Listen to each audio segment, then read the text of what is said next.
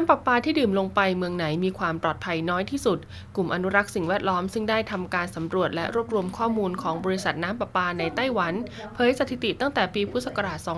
2561 ถึงเดือนกรกฎาคมปีนี้ พบว่าน้ำดิบและน้ำกรองในนครเกาสงมีคุณภาพแย่ที่สุด ขณะที่กรุงไทเปมีคุณภาพดีที่สุดวัดค่า TSD ได้ 74 มิลลิกรัมต่อลิตร นครเกาสงมีค่าเฉลี่ยอยู่ที่ 246.7568 มิลลิกรัมต่อลิตร เขตเขาทัน 298.5 มิลลิกรัมต่อลิตร ลองลงมาเขตชีซัน 263 มิลลิกรัมต่อลิตร考坛这边有很多那个那个货柜啊，槽车啊，里面装很多有机溶剂，间接呃这个污染到地下水。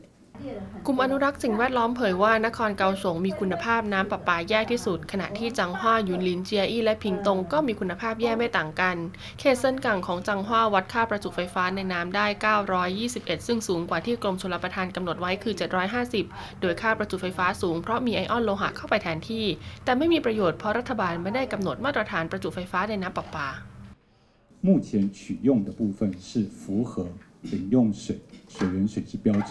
การประปาไต้หวันกล่าวว่าน้ำดื่มน้ำใช้เป็นไปตามค่ามาตรฐาน ขณะที่ทบวงอนุรักษ์สิ่งแวดล้อมเผยว่าปีที่แล้วได้ส่งหนังสือแจ้งไปยังรัฐบาลท้องถิ่น ถึงแผนกำหนดพื้นที่อนุรักษ์น้ำซึ่งกลุ่มอนุรักษ์สิ่งแวดล้อมมองว่าตอนนี้ยังคงไม่เห็นผล และทำให้ประชาชนในเขตพื้นที่ภาคกลางภาคใต้ไม่กล้านำน้ำประปามาดื่ม จึงเรียกร้องให้รัฐบาลทบทวนการบริหารจัดการทั้งระบบ ไต้หวันพบผู้ป่วยติดเชื้อไข้ไทฟอยชนิดรุนแรงรายแรกเป็นชายวัย 30 ปี เคยเดินทางไปประเทศโมร็อกโกและปากีสถาน ซึ่งตั้งแต่วันที่ 8 สิงหาคมก็เริ่มมีอาการท้องเสียเป็นไข้และมีผื่นแดง เคยท้องเสียติดต่อกันถึง 19 ครั้งต่อวัน พอกับถึงไต้หวันเมื่อวันที่ 26 สิงหาคมก็เข้ารับการรักษา จากการตรวจเลือดพบเชื้อไข้ไทฟอยและเชื้อวัณโรคดื้อยาชนิดรุนแรง สันนิษฐานว่าน่าจะติดเชื้อมาจากประเทศปากีสถาน ตอนนี้ยังคงรักษาตัวอยู่ที่โรงพยาบาล นอกจากนี้สัปดาห์ที่แล้วยังพบผู้ป่วยติดเชื้อโรคมือเท้าและปากที่มีอาการรุนแรงเพิ่มอีก 3 ราย ในที่นี้ประกอบด้วยทารกชายวัย 7 เดือน ตรวจพบการติดเชื้อเอนโทรไวรัสสายพันธุ์71 และคอกสกีไวรัสสายพันธุ์ A6 ขณะที่อีก 2 รายติดเชื้อเอนโทรไวรัสสายพันธุ์71 ตอนนี้ยังถือเป็นช่วงที่โรคมือเท้าปากระบาดอย่างรุนแรง คาดหลังกลางเดือนตุลาคมที่อากาศเย็นลงการแพร่ระบาดจะชะลอตัว จึงขอให้ผู้ปกครองและโรงเรียนใส่ใจสุขอนามัยของเด็กๆ กองทัพอากาศเปิดตัวเครื่องบินฝึกบินไอพ่นประสิทธิภาพสูงลำแรกที่ผลิตในไต้หวันอย่างเป็นทางการ โดยเมื่อวานนี้ประธานาธิบดีชาอิงเวินได้เดินทางไปติดป้ายชื่อหยงอิงให้กับเครื่องบินลำดังกล่าว เครื่องบินไอพ่นหยงอิงได้ทำการวิจัยและปรับปรุงแก้ไขมาจากเครื่องบินขับไล่ IDF ดังนั้นดูภายนอกจึงมีความคล้ายกันมาก แต่เครื่องยนต์ข้างในกว่า 80%ผ่านการแก้ไขใหม่แล้ว โดยปรับปรุงรูปแบบปีกให้ลดความเร็วลงเมื่อร่อนสู่รันเวย์ เพิ่มเสถียรภาพขณะที่บินด้วยความเร็วต่ำ และเพิ่มความจุของถังบรรจุเชื้อเพลิงเพื่อยืดระยะเวลาบินให้นานขึ้น ตัวเครื่องบินใช้สีแดงขาวน้ำเงินสอดคล้องกับสีธงชาติไต้หวัน คาดว่าเครื่องบินหยงอิงจะเริ่มปฏิบัติภารกิจครั้งแรกในเดือนมิถุนายนปีหน้า และอาจใช้ฝึกฝนแทนเครื่องบินรบ AT-3 กับเครื่องบินขับไล่ F5 เพื่อให้ขั้นตอนการฝึกซ้อมจากเดิม 3 ช่วงใช้เครื่องบิน 3 ชนิด เหลือเพียง 3 ช่วงใช้เครื่องบิน 2 ชนิดเท่านั้น